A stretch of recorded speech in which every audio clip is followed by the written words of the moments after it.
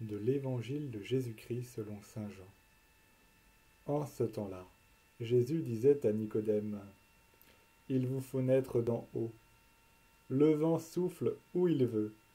Tu entends sa voix, mais tu ne sais ni d'où il vient, ni où il va.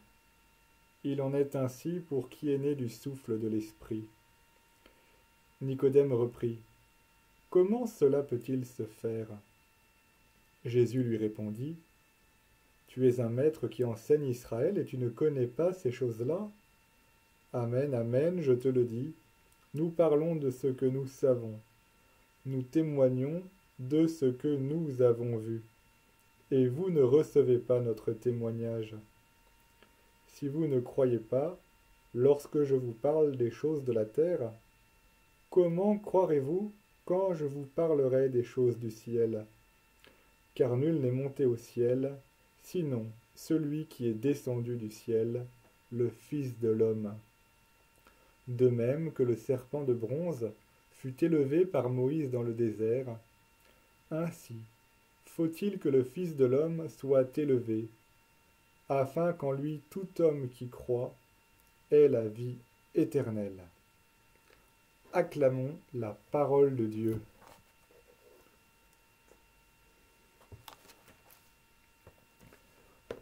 Aujourd'hui, nous écoutons la suite de cette rencontre entre Jésus et Nicodème. Nicodème, ce pharisien, ami de Jésus en cachette par peur des Juifs. Et nous avons entendu hier qu'il vient de nuit, dans l'obscurité. Cette obscurité qui est aussi un peu dans son cœur, et le Seigneur va essayer de le faire passer à la lumière, en, en essayant de lui expliquer le sens profond du baptême d'eau et d'Esprit Saint. Et nous voyons que Nicodème a du mal à comprendre. Il a du mal à comprendre comment c'est possible déjà de naître une seconde fois. Mais le Seigneur ne nous invite pas à rentrer une deuxième fois dans le ventre de notre mère. Il nous invite entrer avec lui dans le tombeau pour mourir à notre péché et ressusciter avec lui pour une vie nouvelle. Ce baptême, il est d'eau, mais aussi il est d'Esprit Saint. Cet esprit qui est comparé au vent.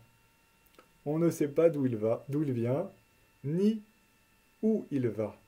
Mais nous sentons en nous sa présence. Oui, l'Esprit Saint, nous ne savons pas où est-ce qu'il va nous conduire, mais nous sentons qu'il nous pousse à agir. Et nous, comme baptisés, eh bien, nous sommes invités à nous laisser guider par l'Esprit Saint, sans savoir vraiment où nous allons aller, mais certain qu'il nous conduit vers le Christ, le Christ, c'est le seul, comme il nous le rappelle, qui est descendu sur terre et le seul qui y est remonté.